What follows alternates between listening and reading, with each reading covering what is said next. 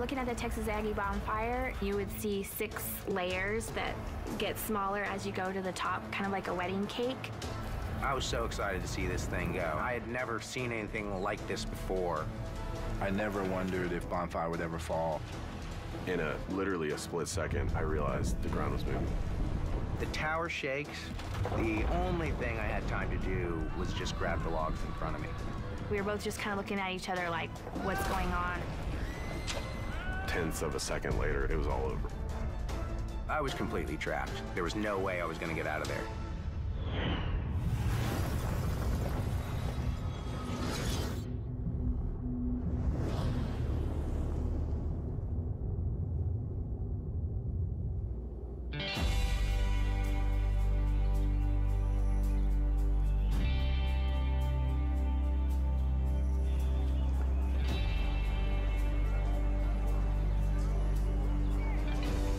Bill Davis. I'm from Houston, Texas, and I started Texas A&M University in the fall of 1998. There was something about A&M that just captured me. It was uh, friendly from the word howdy, um, which is the official greeting of A&M.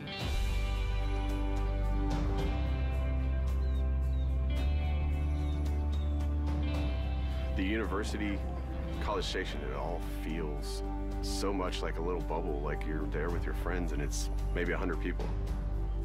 Most of which you feel like you know. If you don't, you have absolutely everything in common with them. It is a school that has a lot of traditions, and it really helps to set a tone and a mood for the, for the environment. My dad said there were only two engineering schools in Texas, and he was only going to pay for one of them, so I became a Texas Aggie. I did not know anyone. I was the only person from my graduating class to go there, so I didn't have any pre-made friends or anybody to hang out with. So I had to meet all new friends. So when I got into the dorm, there were people out helping carry stuff in, and they were part of the bonfire community. Texas Aggie Bonfire was when we would create a really big pile of wood to um, burn the night before the Texas A&M University of Texas football game. If you lived in a dorm, there was a channel dedicated to just all it showed was 24 hours a day bonfire, even before it was even started to be built. Bonfire started in 1909 when a bunch of students at the time were excited about their rivalry game with the University of Texas coming up and literally tore down a barn so that they had wood to burn to build a bonfire to celebrate. The burning of bonfires is meant to symbolize the burning desire to be to you. So if you were looking at the Texas Aggie bonfire, you would see six layers that get smaller as you go to the top, kind of like a wedding cake. And the tallest it ever got, I think, was over 100 feet. 50,000 people circled around this thing burning, and, and it was just a way to bring the campus all together before the last football game of the season. The bonfire community was really what knit most of the dorms together and what created a lot of the unity on campus. When I started at Texas A&M, it was the fall of 1999. I was the first Aggie in my family, and so I really didn't know what kind of world I was stepping into at that point. They have the saying that from the outside you can't understand it, and from the inside you can't explain it. So when I originally went to A&M, I really didn't understand um, what kind of culture it was and what the traditions were like or anything of that nature. The RA came in and introduced himself, asked if I'd be interested in going out to Bonfire, and, and um, I said yes, because there was already a bunch of people that were going to go, and I saw it as an opportunity to meet a lot of people. In November of 1999, I was actually a sophomore. This was my second year to work on Bonfire. Guys, welcome to A&M. Who wants to set something on fire? You're gonna help us build a bonfire. Tonight? oh no, we're gonna build it over the next couple months. Myself and four other guys were in charge of our dorm mast, and, and all of the spring of 1999, we did practically everything with the girls from Mosier.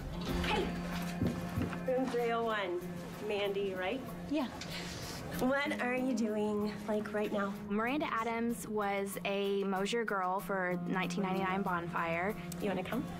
Mosier girls are leaders in the dorms, so they're the ones responsible for recruiting people to participate in the different activities. So, to participate in bonfire, you had to have a pot. A pot, in terms of bonfire, was a really just a helmet.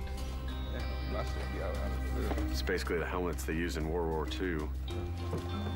So they would have pot painting parties out in the courtyard, and they would bring paint and masking tape and stickers. You could put your name on it or, or whatnot.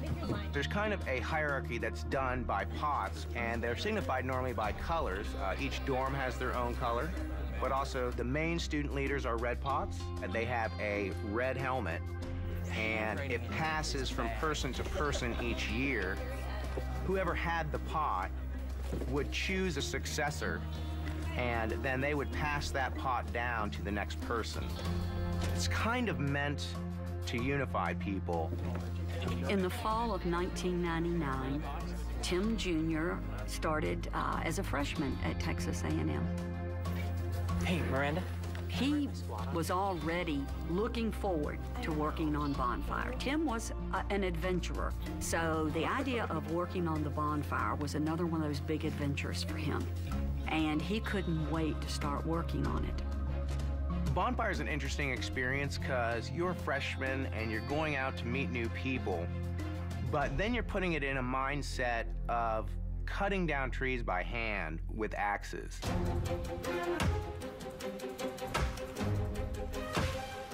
Cut is the actual process of going out about 30 or 40 miles from the campus and physically cutting down the trees. The first day of cut, they bring out speakers onto each floor of the dorm at about 3.30 in the morning and play what's called a wake-up song and just blast it as loud as they can and tell everybody to wake up. It's time to go out to bonfire. So you groggily throw on your, your grodes, which are like your, your clothes, your jeans, and your uh, shirt, which we don't wash until we burn it. So like these things stand up in the corner by the time we're uh, about to burn it.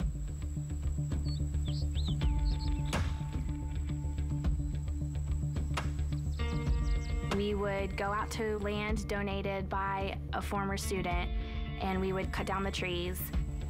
Guys with the chainsaws clear the trees. After we've chopped them off, they get, you know, cleared so that they're just basically a sheer log. and we would load them up and take them back to campus and then they'd be sorted by size into piles and then we would stack them up into six stacks Grab a bite. Roll forward. And when you're out there doing that kind of like hard manual labor, it really separates the men from the boys real quick. And you realize who's a real worker and who's not.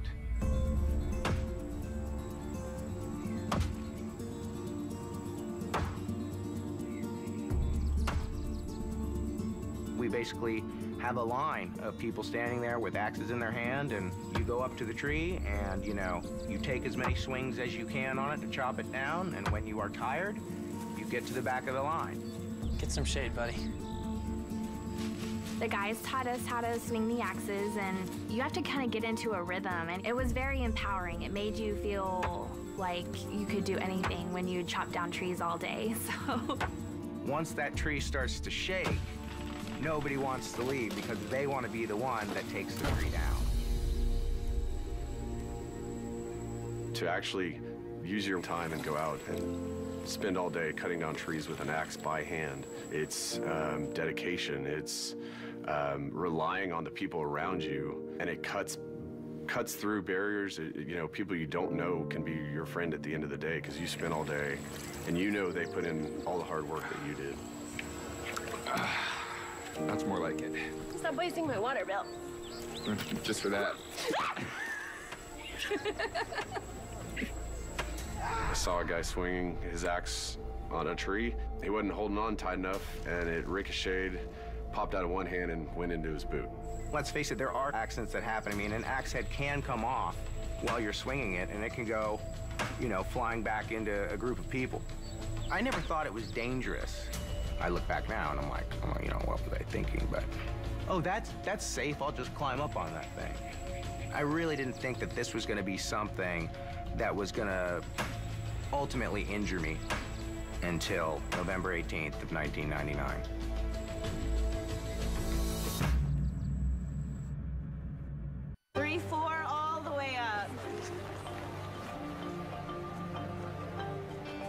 My name is Will Hurd, and in 1999, I was student body president at Texas A&M. My job um, was kind of always representing all students, whether they participated in Bonfire or not. I had a lot of friends that were building, so at night you'd go out and visit with them. It was something that I had, you know, been interacting with uh, for most of my time at A&M. Bonfire was a very important tradition, if not one of the biggest traditions at A&M. And it was very well supported by the university. It wasn't just a bunch of 18-year-olds going out and doing this on our own. You'll hear stories and you realize that you want to have a story too. We used to like to say that 5,000 people build it and 75,000 people watch it burn. Cut would last anywhere from probably 10 to 12 weeks, depending on how much wood was cut down and how many logs of each size we had. And then they bring in this center pole kind of as the first building block for them to put the rest of the logs together around it. From there, once all the trees are loaded onto the polo field, we would start the process called stack, which is actually moving the logs into position to build the actual structure.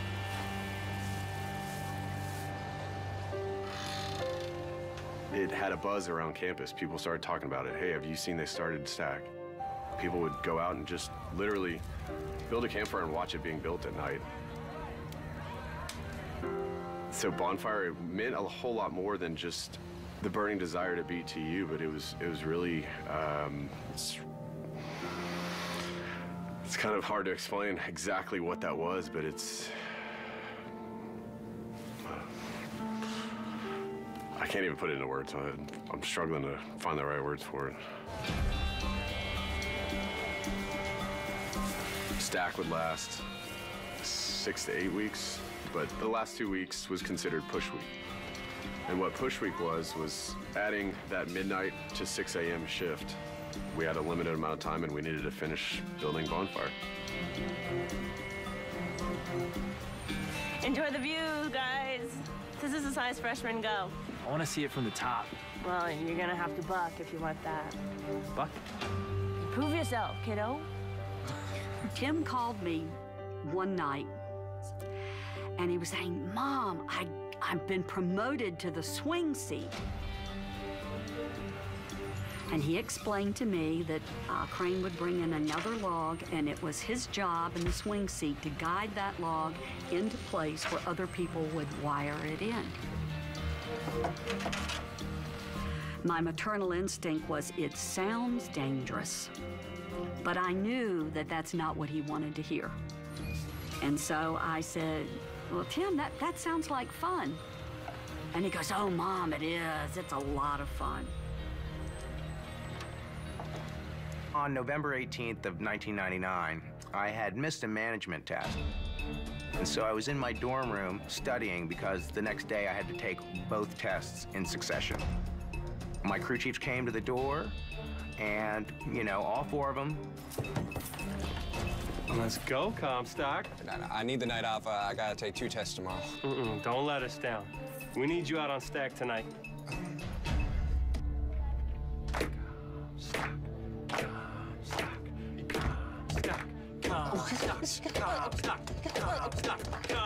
Okay, okay. Just for a while.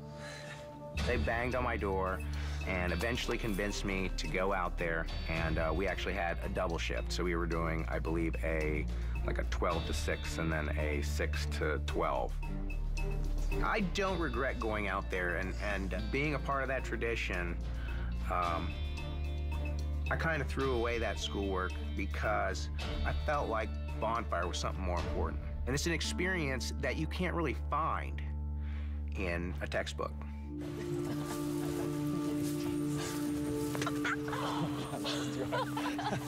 we went out there, got together with our dorm, and met the Mosier girls and walked out to the polo fields.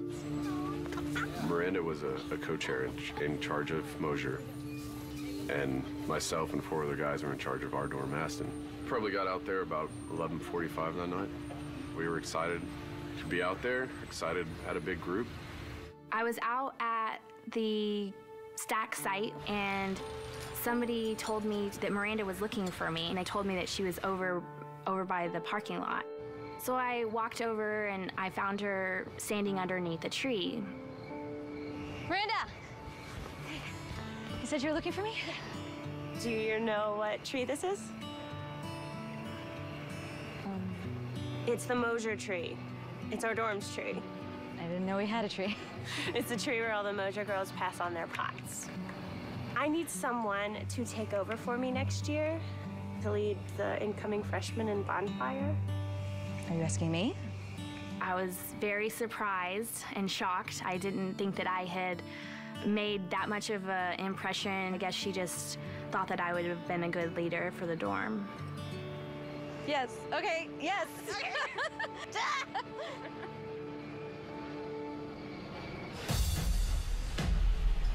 The tiers were coming together and starting to look like that classic wedding cake design.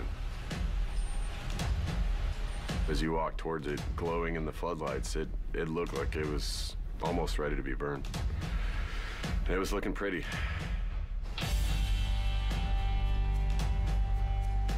It was the midnight to 6 a.m. shift, and I, my mom and I kind of had a conversation about my participation, and she wasn't really sure about it. But you know, I was in college and I was gonna do what I wanted to do, so I was wiring uh, first stack on, from the ground. The way you wire trees in is someone carries the trees over and they kind of slam it up to the stack from horizontal to vertical.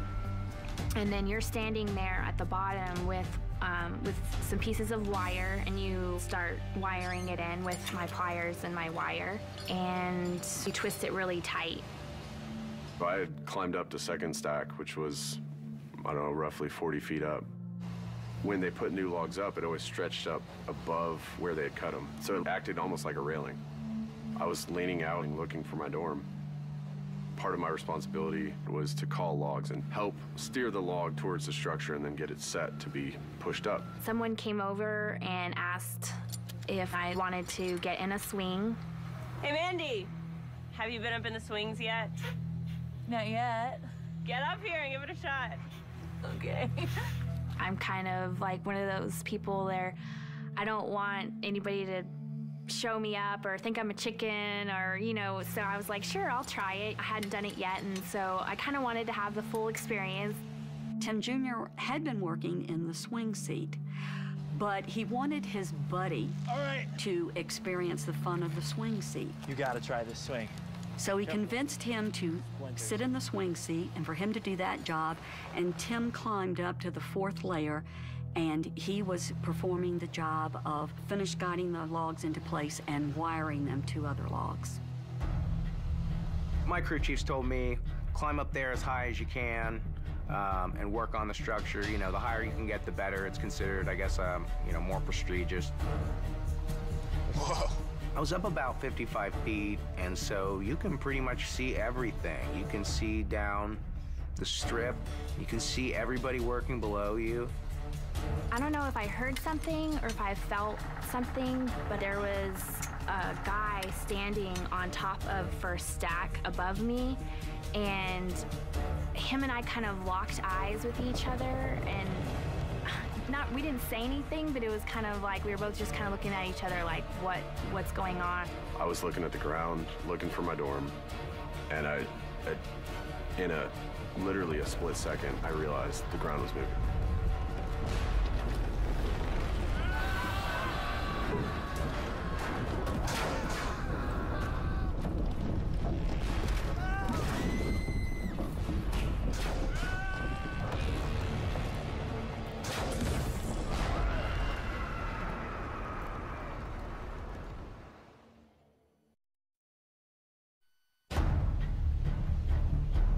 Said I was going to bring in a few more logs and then I was going to be done for the night because I needed to really get back to those two tests that I had to study for. The tower shakes and uh, almost enough to throw me off balance. I basically had to immediately lean forward and kind of do one of one of these deals to catch my balance. As the structure went down, the center pole just exploded in this loud boom. The only thing I had time to do was just grab the logs in front of me and just hang on.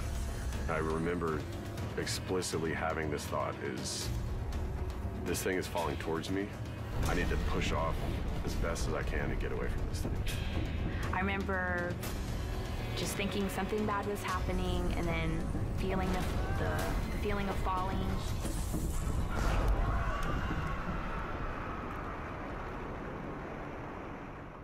Tenths of a second later, it felt like it was all over.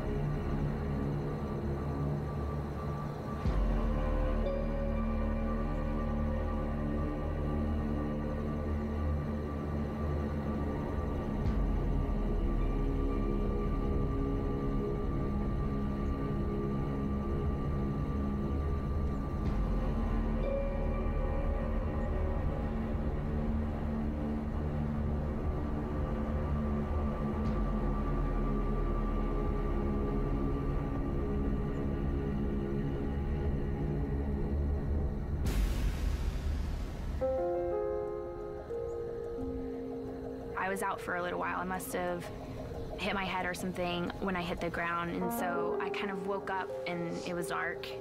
It was really quiet. It was like eerily quiet.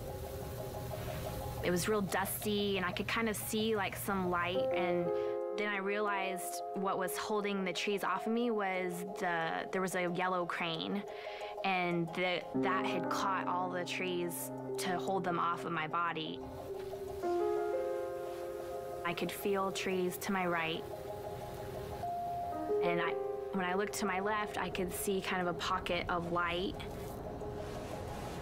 You're kind of in panic mode to get out.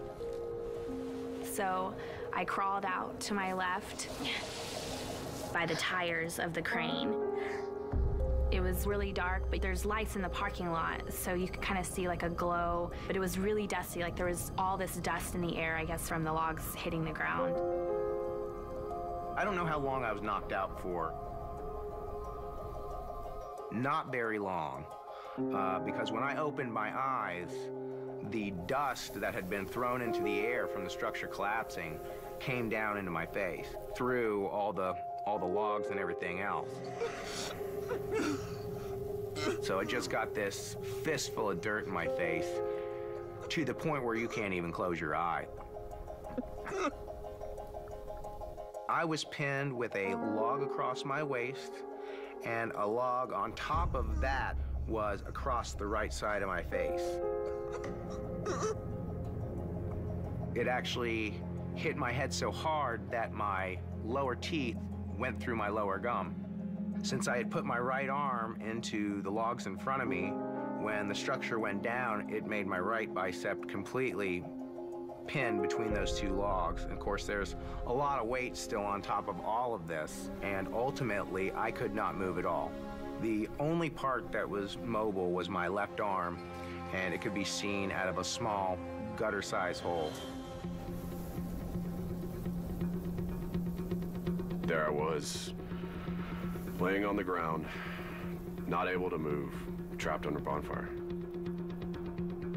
I was in a probably a cavity of, of logs about the size of my chest with maybe an inch or two more. I wasn't being, there wasn't pressure on me. I didn't feel like there was um, pressure on my body squeezing at me, but I couldn't breathe. I was against the dirt, face down. I was later told I was only three to five feet in from the perimeter of the, the pile. My left elbow was flared out. Um, best way I can tell it is imagine you're doing the song, I'm a little teapot, Short and stout. Here's my handle. So when you do the handle part, that's that was my elbow, and there was literally a, a log parallel with my body that had fallen on my elbow. I, I had no idea how much of it was on me. I have no idea what was over me, whether it was two logs and I was near the edge or the entire structure and I was in the center. One of my closest friends called me and said, Will, something happened at Bonfire. You should probably get up to campus. And so, as I was approaching the polo fields, it looked like a scene out of a movie. I've lived in India and Pakistan and Afghanistan, you know, as an undercover officer in the CIA. I've seen disasters, I've seen things, and, and this is still one of the most vivid memories in my mind of, of what a catastrophe looks like. You see the bonfire stack, this, you know, about a hundred foot structure, and uh, looked like a, a, a Jenga pile had just fallen apart you realize immediately that some of your, your classmates and friends are trapped under a couple of tons of logs. It's pretty scary. I don't know what I was focused on, but I, I think it was a survival instinct. I, I, don't, I don't know. I knew people were around the, the stack, um, even after it fell. I knew people were close by. I remember yelling for anybody.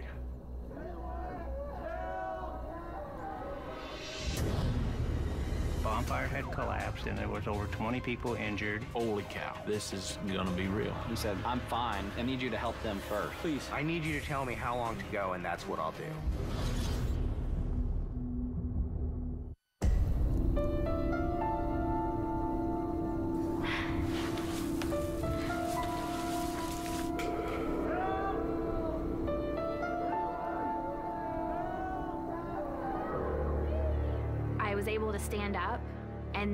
I tried to start running away, and I couldn't.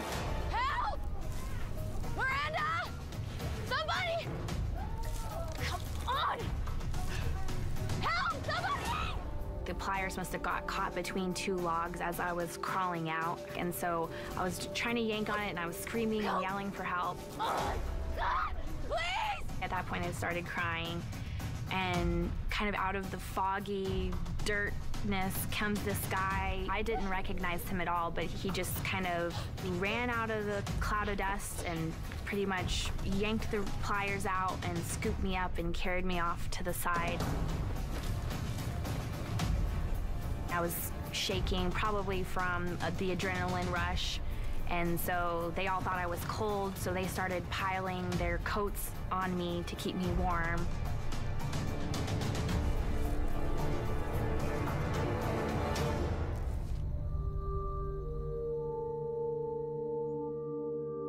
On November 18th, 1999, at approximately 2.30 in the morning, I was sleeping when I received uh, a radio call that I'll never forget. Universe Police, what's your emergency? University, the bonfire stack just collapsed. There are people trapped in it. Okay, we've got units on the way. As a student EMT, Texas A&M uh, campus was our responsibility. So when I heard the radio call that the bonfire had collapsed and we needed all available units to respond, uh, your instincts take over immediately and you run to it. Get out of bed and you, you put on your shoes and you get there. That's what you're trained to do and that's what you're supposed to do. Stack just collapsed. Stack just collapsed. We're going to have a lot of casualties. Get Bryan College Station rolling. Get University Rest rolling. First thing I noticed was a big cloud of dust.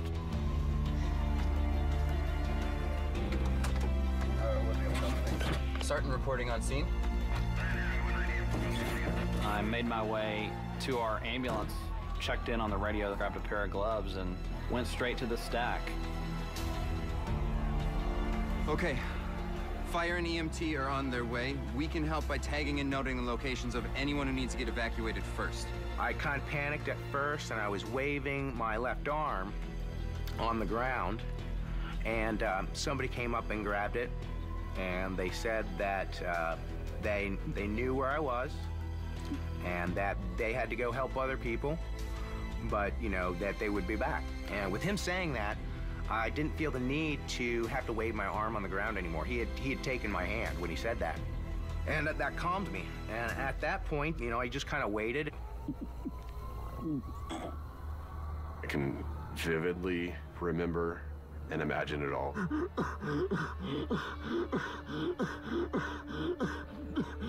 I can remember that night and the way it felt. Um, how cold it was. How, for some reason, I remember it being somewhat still.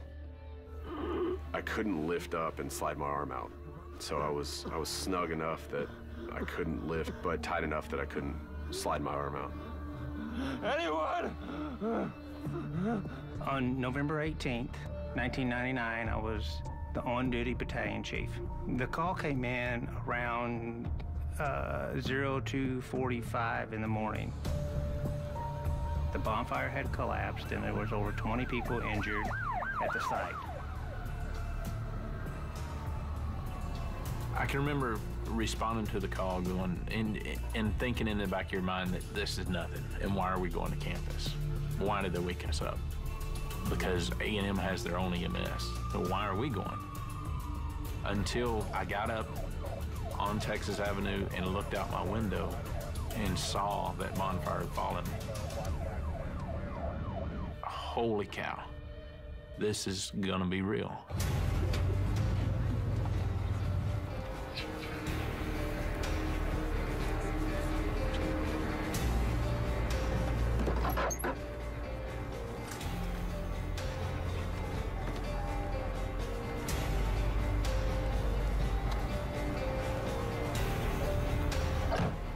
Texas A&M EMS was able to do a complete survey of the entire stack, go around it once or maybe even twice, and give us updated information when we arrived on the scene.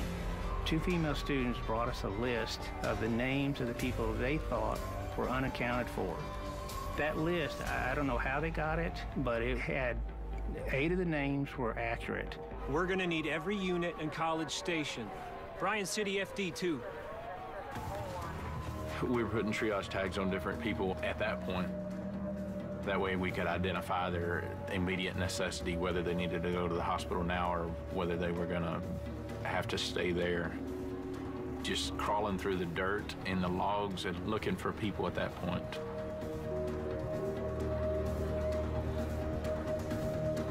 The news of the event traveled very quickly. The news helicopters were flying over. Some of the TV stations had already broke in and were providing live coverage. Once it fell, there's you could just hear people yelling for help. I was executive director of university relations at Texas A&M the night the bonfire collapsed. I was sound asleep in bed when the phone call came. I distinctly remember asking, are the media there yet? Because I knew that would become my primary responsibility. I had been at Texas A&M for only four months, so I had no comprehension of how huge this stack was. In my mind, I was thinking of a bonfire when you go off to camp, you know, where you roast marshmallows, and I knew it was going to be larger than that, but I had no comprehension how huge it was or whether or not we would have deaths or whether we would have injuries. But you have to, in these kinds of instances, get over that shock and realize that you have a job to do.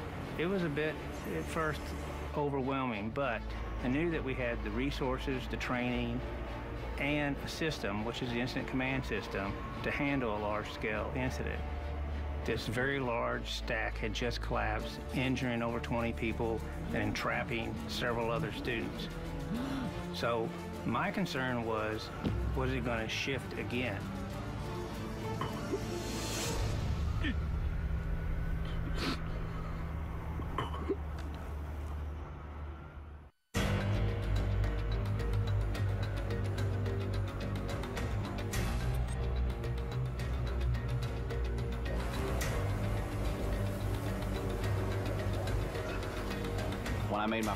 Pass around, I noticed that there were already some deceased students. I recognized that and decided to keep going around the stack. And that's when I saw Tim Kerlee Jr. on the stack. It looked like he was on the second level of the stack. and his upper part of his body was visible, and he was able to talk to the rescue workers. Hey, bud. Let me take a look at you. I'm okay here. I'm just stuck.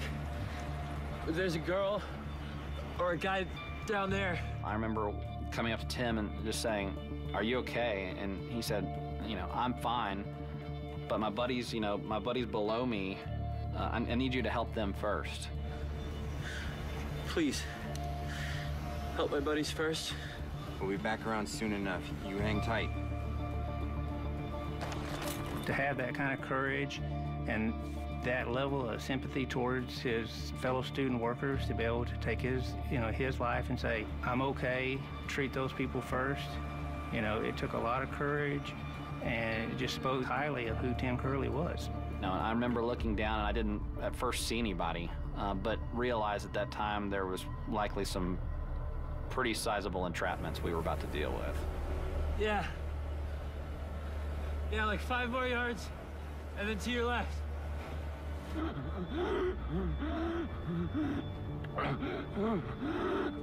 I was having trouble breathing, and for me, I thought it was my asthma flaring up. I didn't consider that it could be anything else. Hey, can you hear me? Yeah, yeah, yeah. I can't breathe. I can remember him saying, I'm gonna die. I can't breathe. I can't breathe. And I said, No, you're not. You're not gonna die, you know. And if I remember right, he was face down in the dirt. And and he told me he had asthma. And and I thought, there's nothing I can do. He's trapped, and there is nothing I can do.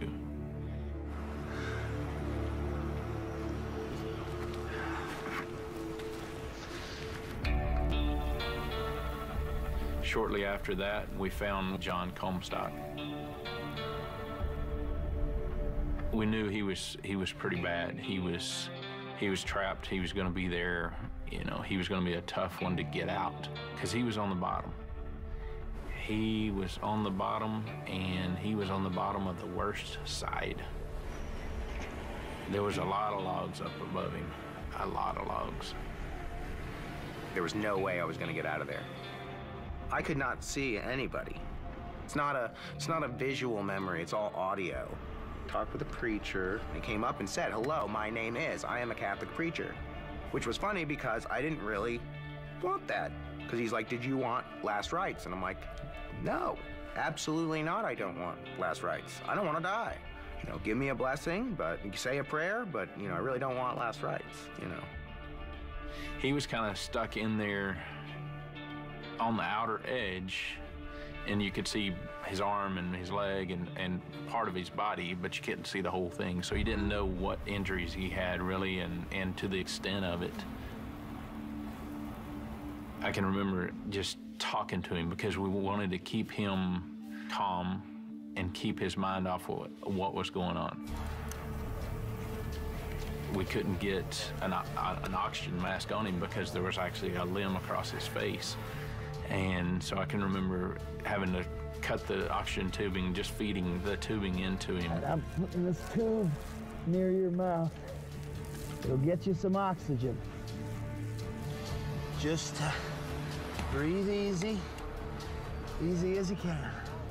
Just to get him, you know, a little fresh air because there was so much dirt and just, just real fine dirt in the air and just everywhere. They had started an IV. I was really mumbling. My jaw couldn't even really move to talk. And um, ended up kind of tapping out my phone numbers to people so that they could uh, notify my family.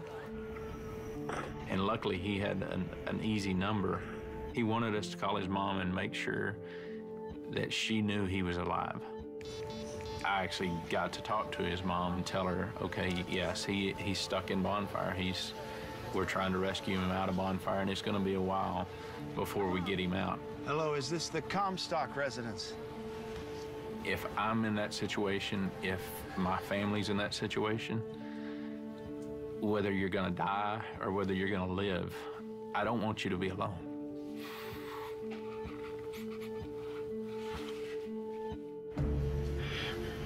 nobody wants to die alone. We had never met before. We weren't friends, but you feel like you're the only person that is there that and you are you're their friend for that moment Hey, I'm fine right here. I'm just stuck. Uh, if you don't let us get you out of here, you're keeping someone else buried, understand? Tim Kerlee was on top of the stack, more facing the command post. I don't know how many people he told, but he didn't just tell one person. He was making it a point that I'm okay, treat other people first, and then come back and get me. You're in a lot more pain than you let on. Are They're gonna give you something for that at the hospital, right? His entrapment was in a way that it did allow them to take one of those airbags up to the stack and then slide it between a log to lift it, to free him, to move him out you know, to a backboard and into the ambulance. Easy now.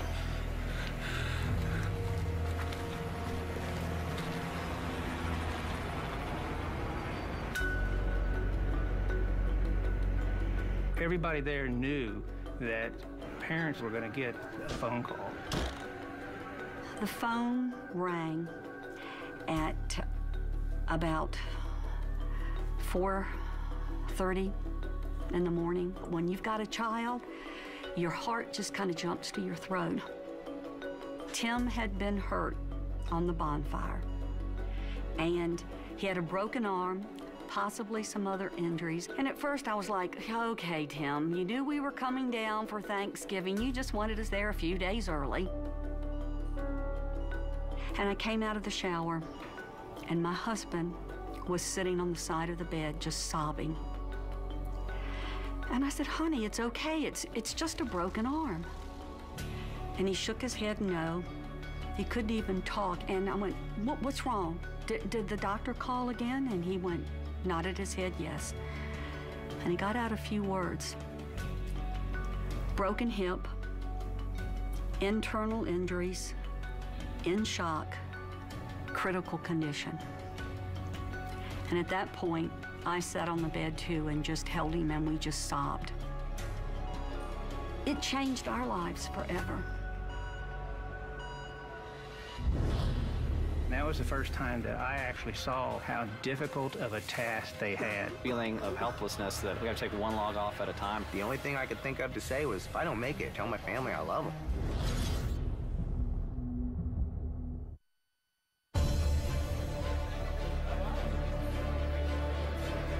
One hour into the rescue, I was busy trying to think about all the logistics for setting up the first press conference. What we had not provided was the number of students who had died, and we knew that we were going to have to share that with the world. For 90 years, they had successfully built this bonfire. There was no reason in anyone's mind to think that a tragedy of this magnitude was ever going to happen. Students certainly got scratches and splinters, but for this level of injuries and death, it was the farthest thing from anyone's mind. No one could see it coming. For more on the tragedy, we return to College Station and Channel 8's John McKay. John? Gloria and Scott, the digging and rescue effort continues behind me. This log pile, we're told now, is, is still a bit on the unstable side. In fact, the numbers you gave at the top of the hour of nine people dead, 28 injured, injured those numbers continue. We should add that uh, there are two people apparently that are still trapped inside. That's the information we have been told. We have no indication yet of what their condition may be. Bill and John were trapped relatively close to each other uh, on the stack. They were pinned extremely tight, with Bill being essentially what was behind John during the recovery phase. The first 27 were transported within the first hour. These last two were going to be very extended. It was a roller coaster um, because, you know, there were times when you knew we're going to save a, another person, another person's okay. And then, you know, sometimes you would get angry when, you know, we would be very quiet and the first responders would use this audio equipment to see if somebody was there and they wouldn't hear anything. And through all this, you were tired. It was a mix of emotions that um, is so hard to describe because you felt every emotion imaginable. For the latest on what's going on in College Station, let's go to Channel 8's Valerie Williams. The bonfire was three quarters of the way finished, and student crews were almost 45 feet in the air when the first hint of trouble sounded. I would go from the media to the incident command, back to the media, back to the incident command, trying to gather information. My secretary came up to me at one point and said, Give me your clipboard. And I said, What? And she said, Look around you. And there were 6,000 young people on their knees praying.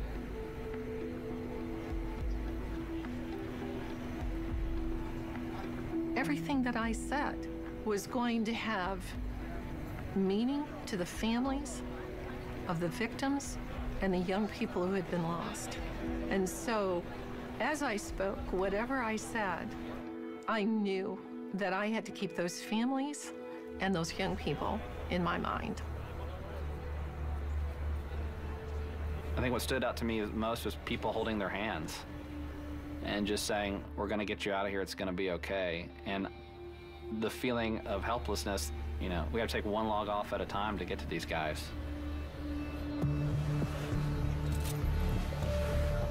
I didn't know at the time how much Darren Allen was trying to help me. He was the one that spent most of the time with me that night and really kept me going and checking in on me uh, those every 15 minutes to make sure that I was still okay. One of the most immediate things for me was for them to get that log off my head. So they used an 18-wheeler airbag and lifted up the log that was on top of my head. And um, once they did that, I was able to turn my head to the side and look out at the firemen who literally had to have their heads to the ground to see, with their flashlight to see me. I finally got a, a wet rag from one of the firemen, and I was able to get the dirt out of my eyes.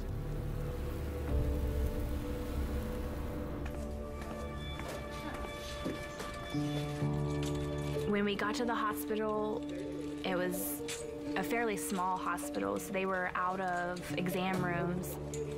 We were just kind of left in the hallways, and um, they came and took me to x-ray and found out I just had a cervical sprain to my neck, and then they just parked me back in the hallway. When I was waiting, that was kind of when I started really realizing that, you know, it was, there were a lot of people hurt you know, that's kind of when you start saying, well, where, where's so and so? Where's so and so? They decided to release me from the hospital. They made no attempt to clean up my scrapes or my abrasions. They just made sure that my neck was good and sent me on my way.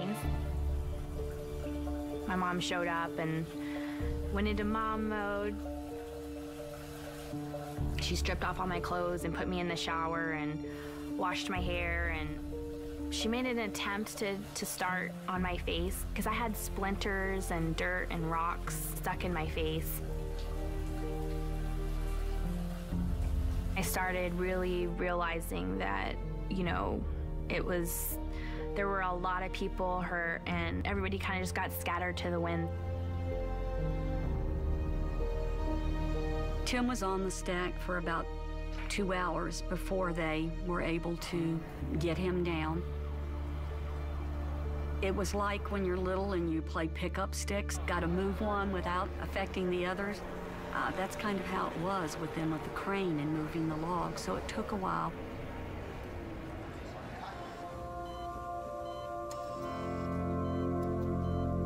Tim had made it through the night, but the doctor came in that day and that's when he told us about the toxins building up in his body, that he would not be able to uh, survive. An amputation was out of the question because of his severe injuries. He'd never make it through the trauma. And so my, my husband said, I know where he's going. I know he's going to heaven. And he said, I, I don't want him to go through hell to get there. We went into the hospital room. We, we had to tell him that he wasn't going to make it.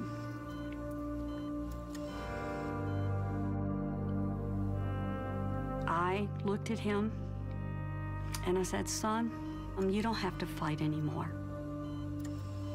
It's okay. You can let go and go home to be with the Lord. And a, about a minute later, we see tears streaming down his face. And I said, honey, I know. I know you've got everything in the world to look forward to.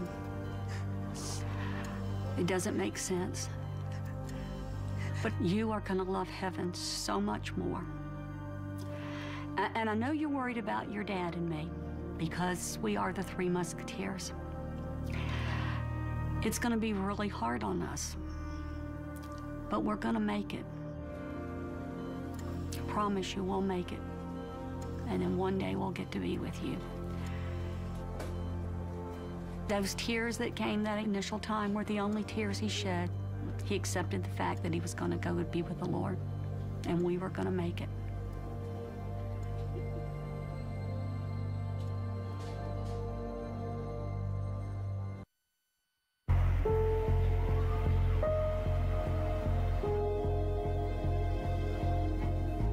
People were requesting in any multi-casualty incident, they want to know exactly how many are injured and how many have been killed. And a lot of times you don't want to release that information until you have accurate statistics. But at that point, we had a really good idea that there were at least eight and more people in the stack. Some of the news media were only reporting two or three.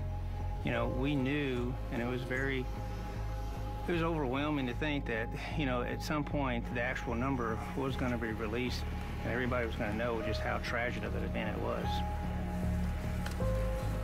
When a body was located, they would wrap it in a white shroud and they would bring it out of the stack for every single body.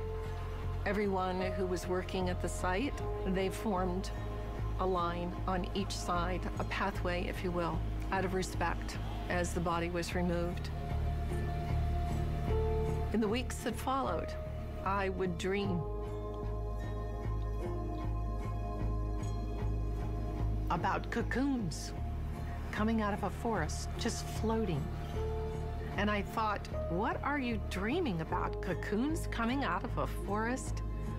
And then it dawned on me. It seemed endless. That night, body after body after body being pulled from those stacks, wrapped in those white shrouds. I don't think a week has gone by in my life that I haven't thought of that night.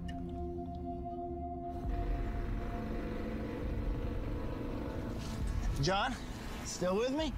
Darren was on the backside of the bonfire, and his main role was to provide uh, patient care to Comstock as far as, you know, getting whatever patient care that he could to him. Because again, there wasn't a lot of, of his body showing.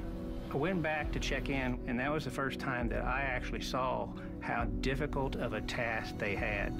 There, there's something in my back. It's depressing.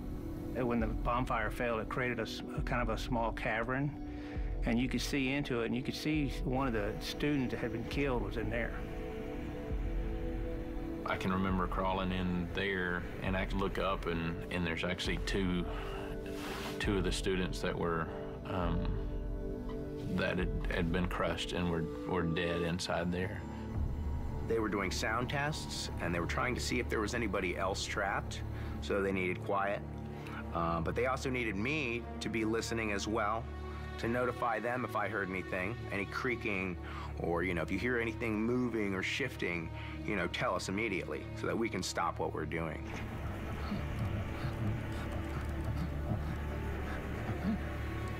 John Comstock was only a matter of feet from my head, and before they could get to him, they had to get to me. By this point, it had been uh, roughly four hours, so about 6:30 in the morning. One of the firefighters actually went into the cavern and then army crawled to find my feet. It's Bill, right? let me know if this hurts. He, he said, lift your head, I'm gonna try to pull you out. Sorry, sorry. You okay? Okay. I knew where my elbow was, I knew where my hand was, I knew enough to know what was going on, and pulling my legs wasn't gonna get me out of there, but he, he wanted to try. I, am pretty stuck. Okay. My femur was shattered, and I remember it screaming at him. What, what can you move? Uh, I can uh, move my uh, right arm out a bit. Uh, I can feel something above me. What do you feel? I'm not sure. Uh, Stop it. D don't touch that, okay? Uh, okay. We're gonna take our airbags down and try placing them differently. You just hold tight, okay? There was a point, Bill was getting pretty upset, and I think he was in a lot of pain too. Um, he was pinned forward from what I understand. If I could move my arm, just a, a little room. It was difficult to hear um, other people struggling in that situation. But he was saying, like, you know, if I could just get my arm free, I can get out of here. And, um, you know, I was thinking to myself, like, I really don't want to hear this because I am completely trapped. Like, you know, my arm is trapped, my hips are trapped, I can't even feel my legs. My legs are probably trapped. Oh, you're in a spot. I eventually got to the point where, you know, no blood supply to the right arm. It started to get extremely painful. Um, I never could feel my legs, so I didn't, I didn't really know at that point if I was paralyzed or, you know, or what. How much longer? And they just would always say, a little bit longer, just a little bit longer. Keep saying that. I didn't know how long it was going to take. So I'd have to tell him, we're getting close. We're, we're going to get you out of here. We're getting close. We're getting close. And I eventually got to the point where I said, you know, you keep telling me a little bit longer, but it's been a long time. I need you to tell me how long to go, and that's what I'll do. They hesitated a little bit, and they were like, well, we still have one other guy to get out, but it's probably gonna take about an hour. And I said, okay, you have an hour. These logs weighed thousands of pounds. I later learned that they had the weight of two 747 jumbo jets fully loaded with fuel, baggage, and people. It was enormous. At a certain point, it doesn't really matter how much it weighs. Um, because it's enough to pretty much just crush you. They were positive that my pelvis was going to be in a thousand pieces because I was literally as flat as a pancake at the waist.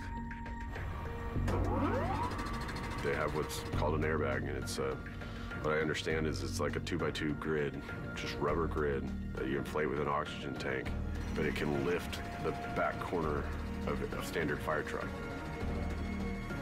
Okay, everybody back. What they did was they stacked two airbags. Their concern was when these things inflate, they round. And what they were worried about was the two inflated airbags slipping off each other. Bill, I'm gonna pull on your feet again. When they started to inflate the second airbag, I knew my elbow was out. I'm out. I- I'm out. I just remember him dragging me out of there. I thought he died.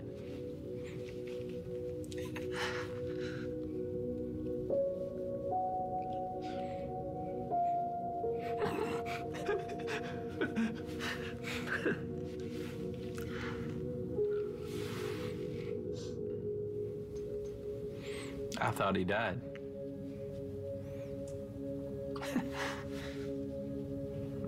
I talked to him. And he told me he was to die. And he told me he couldn't breathe. So I thought he had died. I didn't know he, I didn't know, and I, this is the first time that I found out that he didn't die. I'm crying because I'm happy. I, I mean, that's amazing.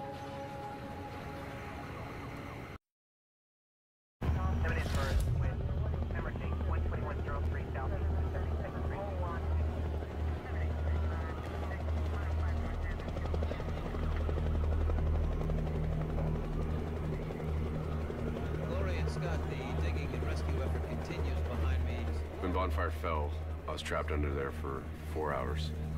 They got me out, got me to the hospital. I remember them getting me in the ambulance and cutting all my clothes off.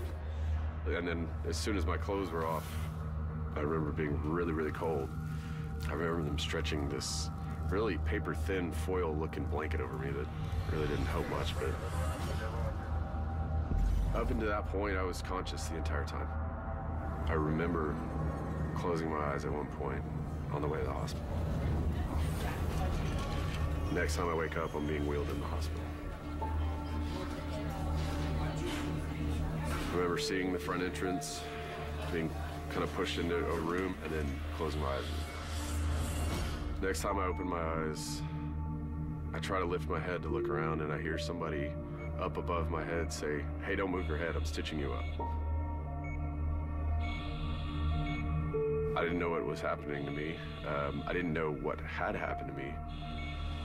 Things had paused for me. The world kept going. The grief was mounting, the confusion, the frustration. Every time they found somebody else in Stack that passed away. All of the emotions going on, the media that was surrounding it all. This is a tragedy that no one saw coming, that no one could have prevented. It's something that's never happened before, and it came out of the blue. What happened here and how did this happen? A lot of people are wondering why is the main question. There's a lot of frustration, there's a lot of anger, and there's more than anything sadness. They think they found everyone that's still alive. Miranda's still missing. Know what that means. I saw my friend Amy. She said, um, you know, Miranda's missing. And at this point, you know, everybody that was gonna be found alive probably would have been found. And so she said, You know what that means, right? I kind of just looked at her. I really didn't say anything. And because I was just surprised because I hadn't really gotten any update. And, and she said, She's gone.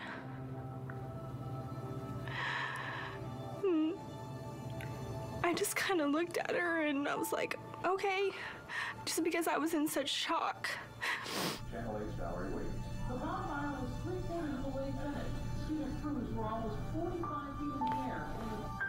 I got like halfway up the first staircase and just collapsed on the stairs.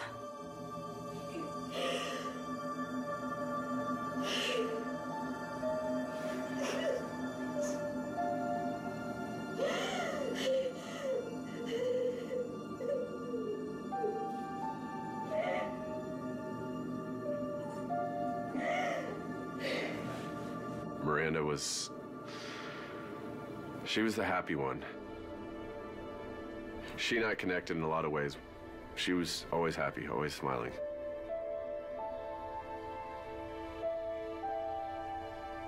I remember my mom telling me Miranda had passed away.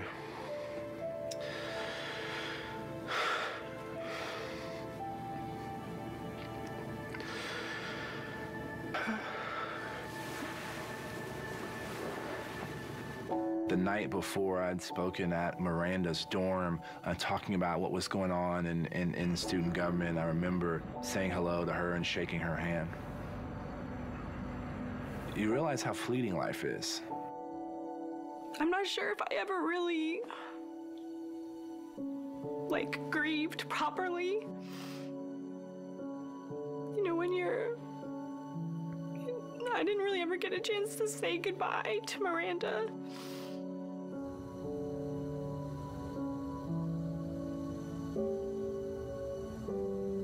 So young, you know, and I'd only been at school for two and a half, three months. And to have to deal with the death of a friend, it's just not, it's not what you expect. At 20, 21 years old, um, that was that was that was hard to deal with. Anybody who had anything to do um, with, with that event grew up that night. I think the entire um, Aggie family uh, grew up that night.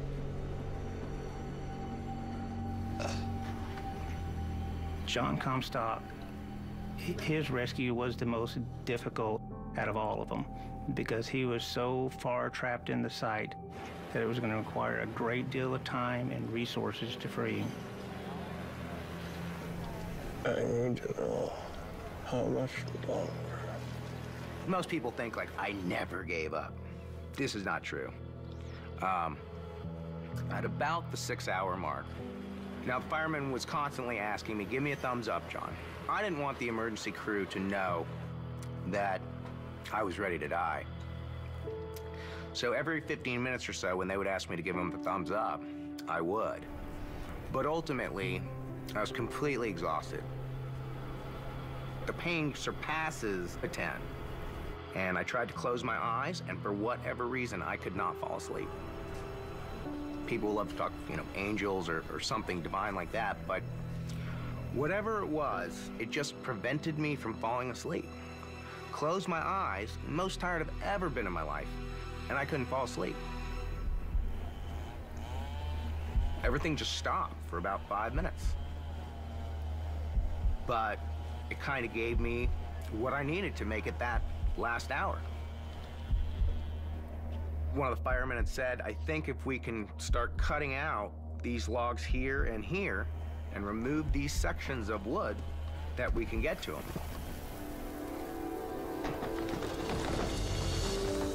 I was never really sure I was going to make it until they took off the piece of wood that was kind of one of the logs that was directly above me. And the sun had come up by that point. And when he pulled that log off, I could see light. And I was just like, I'm gonna make it.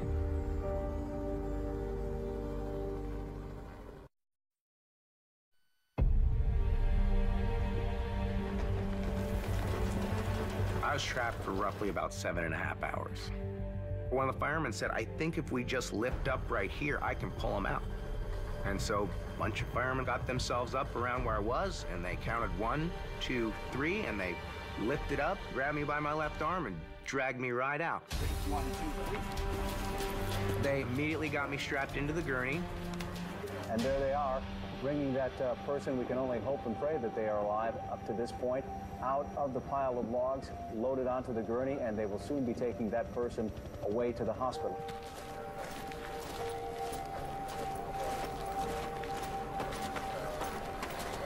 Give them a thumbs up so they know you're okay. Who, who's they? And I gave him a, a little gig 'em, and this crowd just, just cheered and just was, I mean, amazing, amazing.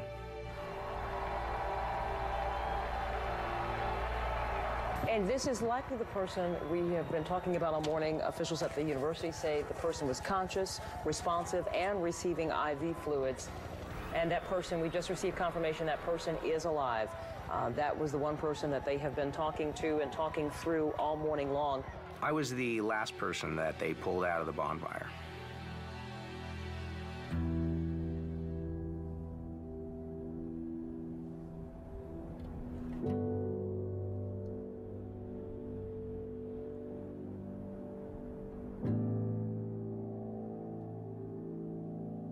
At 9 a.m., the morning of the bonfire collapse, the last survivor was removed from the stacks. But it was not going to be for almost another 24 hours from the moment of the collapse that the last body was removed from the stack. 27 young people were pulled from that stack alive, and 12 were pulled who had died. Right now, the operation is slowly um, shutting down. We're done. It was probably around 2 o'clock in the morning the following day in which I held the final press conference on site. There were still about 3,000 young people surrounding um, in, the, in the distance. And I knew that I had to go and tell them that it was over. But how do you tell them? They had been keeping vigil for 24 hours. I guess it came to me, and I said, on behalf of the university, I just want to thank you for praying for the families, for the young people, for the rescue workers. From the bottom of our heart, we just can't tell you how much we appreciate it. And I kept repeating that. And at some point, I was in the middle of the crowd. And out of the crowd came a young man's voice. To this day, I don't know who he was. And he said, You don't get it, do you? And I turned in the direction. I never saw him, I only heard his voice. And he said, We were also praying for you. And I got it. In that moment, I became part of that wonderful Aggie family. It became a part of me.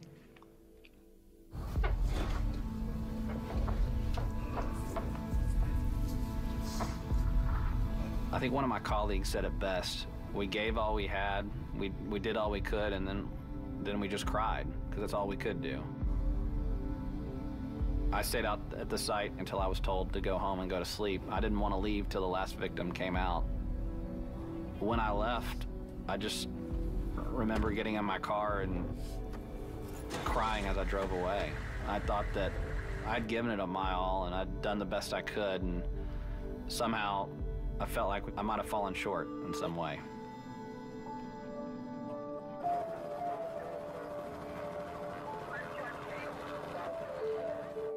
All said and done, I broke both my cheekbones, cracked my upper jaw, punctured and collapsed my right lung, lacerated my liver, shattered my elbow, shattered my femur, cracked my pelvis, cracked my wrist, and had cut my forehead to, to the skull. Was about 21 days in the hospital. They rolled me right into the ER, and um, the doctor looked at me and said, I'm sorry, you know, I'm gonna have to put you down now because I have to do surgery on you. And the only thing I could think of to say was, if I don't make it, tell my family I love them.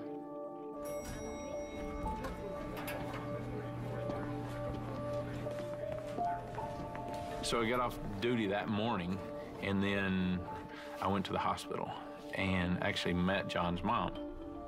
He had actually coded on the table, and they'd gotten him back, and he coded again, and he gotten him back. And I think he coded like 13 times. They put me under November 18th, and I didn't wake up until New Year's. Doctors say John has been unconscious and in critical condition now for 12 days. He was among the many students hospitalized the morning of November 18th when the A&M bonfire collapsed.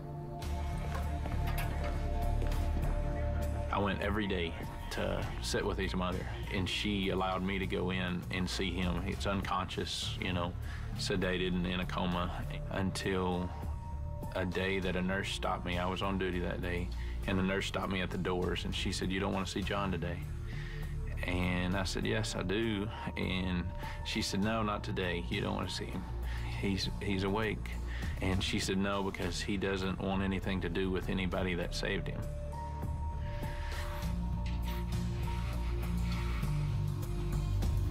I had one very bad day in the hospital. I actually realized that my leg had been amputated alone in my room. And then when my mom came in the room, I said, you know, hey, what happened to my leg? And she explained that because my left ankle was crushed, um, the bones were rotting from the inside out, and that I was going downhill, and I was going downhill fast. And so uh, the decision to amputate was made.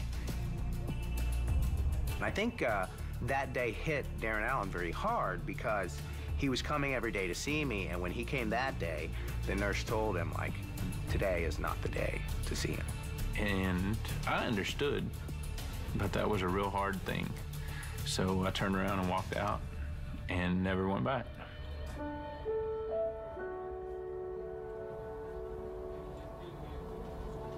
Years later, I went and saw Bonfire Site, and then they had a memorial set up, and somebody had asked me who I was and, and what I had to do with Bonfire. And, you know, I told them I, I was fireman for the city, and, and I was on one of the first trucks there that night and had worked with John for the longest. And then there, there was a guy that came up to me and he said, I want to introduce somebody. I want to introduce somebody to you. And they brought John in. And he wheeled up with his wheelchair. And he said, I could hear your voice. I could hear your voice, and I knew who you were. You're the voice that I remember of that night. And it was just such a sense of relief and closure and getting to talk to him and and just you know and him said he was in that room the whole time and he said I could hear your voice. And I remember you laid with me and you kept me alive There were two different times in the months that followed where I actually wrote a press release stating that John had died because it was that imminent.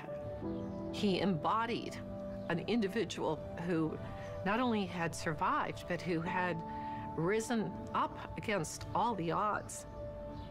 I told John that I had written his obituary twice, that I had framed it, and that the day he could walk up to my office, I would hand it to him. And about a year later, he did. I have a picture of that. It still sits in my office in Chicago.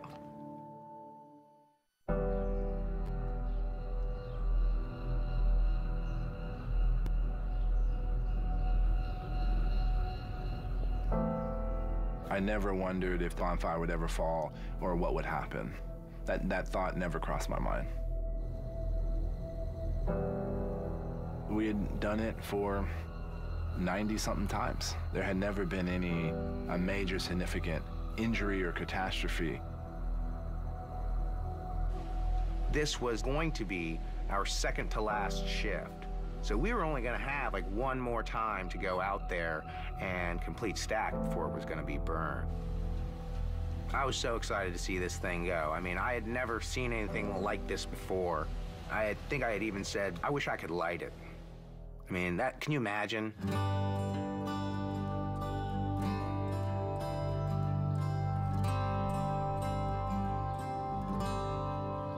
I think losing your leg, it's, it's a, it's not an easy thing. It takes a lot of kind of soul searching to finally get past that because you're never to get it back.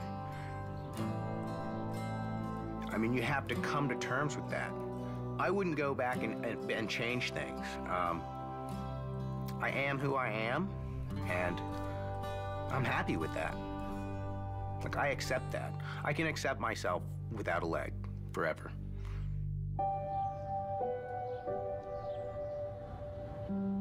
Invariably, I'm asked some form of the question if you could go back and do it all over again, would you change anything? And I say no. Um, having been through all that, although it was extremely painful and, and difficult to deal with physically and emotionally, um, I'm a better person for it.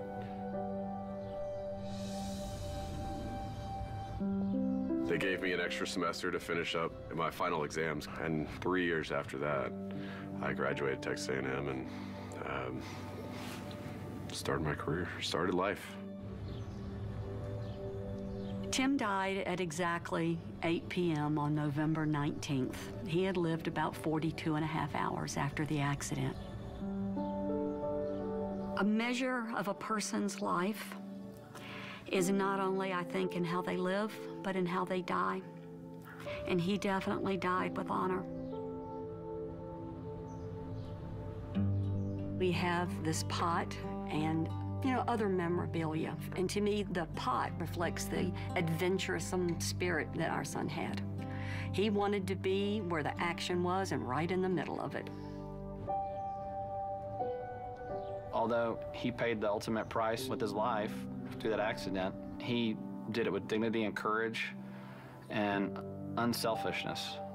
And if we can take an ounce of Tim Kerlee and put him in our hearts and our lives, we'll be doing pretty good. Miranda chose me to be her successor for co-chair for the Mosier Hall. You know, she was an awesome person. I mean, she saw something in me that she respected and and thought that I would be a good leader and it's kind of made me try to be a better person in her honor to try to live my life maybe the way that she would have.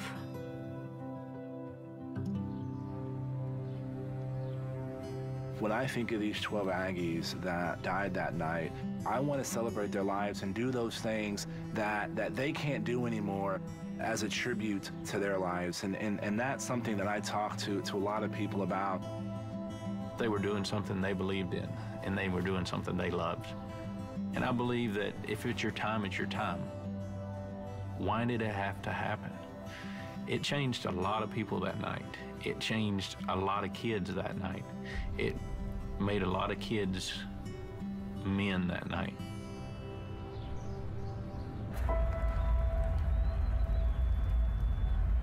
It was a wonderful tradition that did, in fact, create a sense of commonality, a bond uh, between generation of Aggies. But to have it on campus, as great of a tradition as it was, the risk of even losing one life is too great. You look at tragedies like this, and you can't make sense of them. Why is it that two students are standing on a stack of logs, and one dies, and the other one doesn't even get a splinter? You only get to see in this moment a piece of the puzzle. But someday on the other side, we'll have our answers. I think that's what faith is all about. Sunday Fun and Games starts with a new Celebrity Family Feud tomorrow at 8, 7 Central.